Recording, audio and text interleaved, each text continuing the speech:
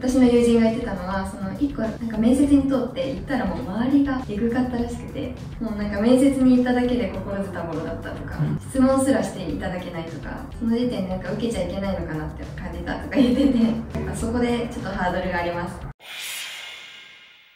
いや、これね、はい、いや僕だったらって話をしますけど、もちろん、ね、再現性があるかは知りませんけど、フィルターかかってるのって、要は、事前の準備が足りないわけです。うん、何かっていうと、社員訪問をすればいいって言って、で、社員訪問で、例えば5年目とか10年目とかの人に訪問しますと。で、やっぱね、ここで優秀だと思われたら、裏で人事に告げ口が行くわけですよ、100%。優秀だったらって話ですけど。そこで爪痕残せていないから、学歴フィルターみたいなものにかかるんであって、それは事前の準備が早いんですよ。これ言うと、そんなんできねえよって言われちゃうかもしれないけど、俺だったら確実にもういろんな社員さんに土下座して会ってもらって、爪痕残すために必死で頑張ると思う。そうじゃないと、だって表向きで言ってもさ、それこそさ、質問すらしてもらえないとかが起こり得るので、逆に言うとだから、そういう事前準備しないような人だったら、もう入れても価値ないなって思われちゃってるから質問すらしないって思っちゃう。俺が選ぶ側だったらそうするけど、でそんな程度の仕事でしょっていう。それは浮かん。ないし今水木さんは行きたい企業とか業界が絞りきれてない状態でやみくもに社員訪問しても結局その企業にあんまり行きたくなかったりとか行きたい企業がバチッと決まってない状態でとにかくやっちゃったら体力分散しちゃうんじゃないかとか思ったりするんですけどその行きたい業界とかを絞るために水木さんはどういう風に進んでいったらいいと思いますか？はい。先輩にまずは具体的にどういう価値観でどういう行動をしましたかっていうのをまず聞きましょう、はい。あのもちろん尊敬する人に限定してね、はい、もうもちろん課題でもいいので、どんどん聞いてください。先輩からまず盗むのがいいかなと。はい、それで、まあ、どこに社員訪問したらいいかっていうのを絞っていけばいいと思います。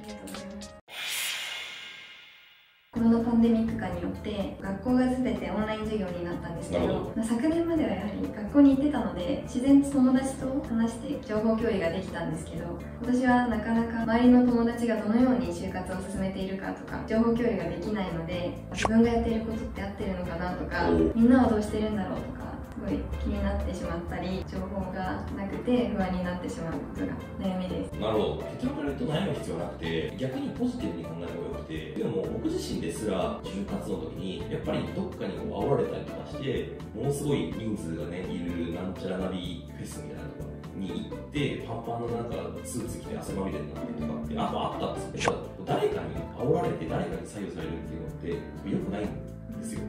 逆に言うとそれがなくなったからポジティブに時間が使えると思った方がよくて、はい、だからいらん情報を捨てられて本当にいる情報だけ得られるからいいと思った方がよくて。あとちなみにインスタの就活アカウントも結構フォローしてるんですよね。そうですね。それは結構面接でこういう質問がいいよとか。あ逆にそっか。じゃあさ人から会えないんだったらじゃあ YouTube でいいじゃん。それで対策できるよ。そうですね。結構それで面接の前とか見たりとか参考にするとかすごい多くてぱり私の中で今インスタグラムと YouTube が結構まあ一般的な大学生みんなそうってことだよね。そうですね。ちなみにインスタで就活の教材みたいなのを買ったこともあるんですよね。買ったことあります。それは絶対買う必要ないいくらでしたっけ？1万弱そ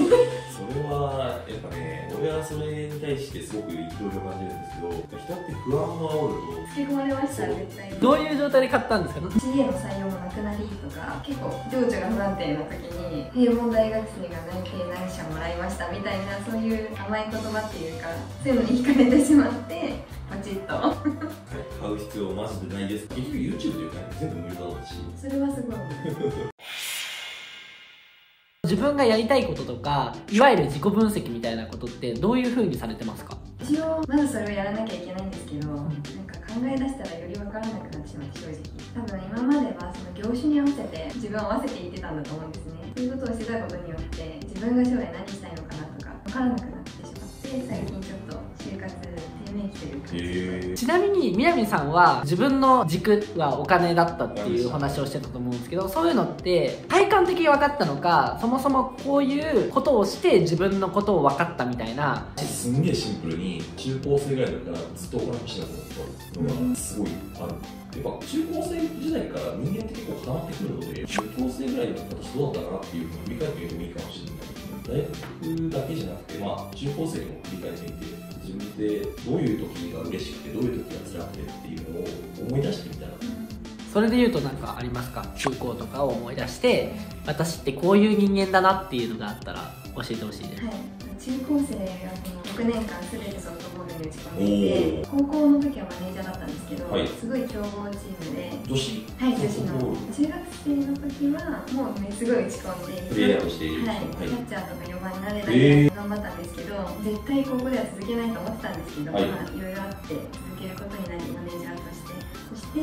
本当強豪だったので朝も始発で行って帰りも10時とか帰るみたいなきつい生活を送ってたので、はい。でもなんか終わった時には本当にやってよかった。って感謝されたりとかするだけで頑張れたんですよ。だから多分自分がいくら身を削ってもそのために尽くすことが結構やりがいを感じてたので多分その経験がすごく大きいです。なんか一緒に働きたいって思ってもらえそうですけどねうん。採用担当の方とか。じゃあまあ正解はすぐ見つかるもんじゃないと思うんですけど、まあ、どういう企業が合うかとかどういう方向性が合うかっていうのは多分客観的に見るのと自分で見るのどっちも大事だと思うのであの皆さんコメント欄にあの水木さんがどういう企業が合うのかっていうのをご意見あったら教えてください。